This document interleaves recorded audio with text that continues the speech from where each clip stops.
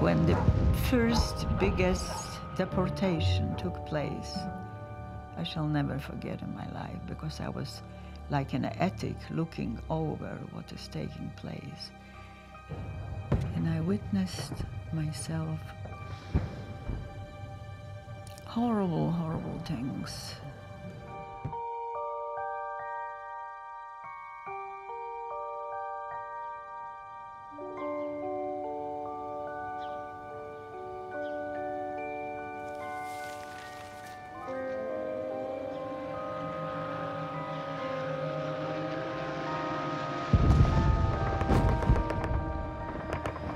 You see, when the war broke out, I was 13, and they came in I, like in September the 9th. So I was close, almost 14.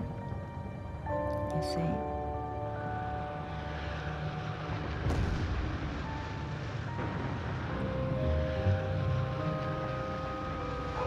When the first biggest deportation took place, I shall never forget in my life because I was like an attic looking over what is taking place. And I witnessed myself horrible, horrible things.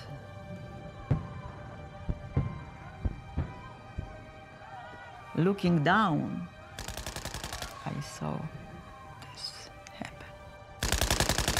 And the bullets all the time because sometimes the people try to escape, you know. The hiding place was under the bed, and it was in the, the floor cut out, uh, you know, like a square, and then you went down, you closed. But we didn't have any air, you know.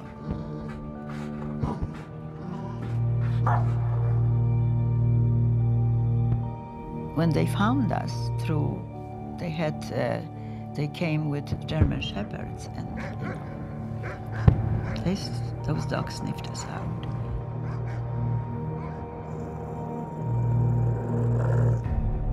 When they took us out, we had to kneel, and they were bringing other people from the hidings, and uh, and we knew they may even shot us right there. When they took us out already from the hiding, this was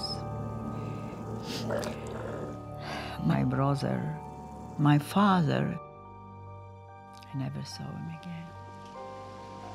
And somehow my little sister escaped, and uh, me and my mom wind up on the, to the station, onto the cattle train.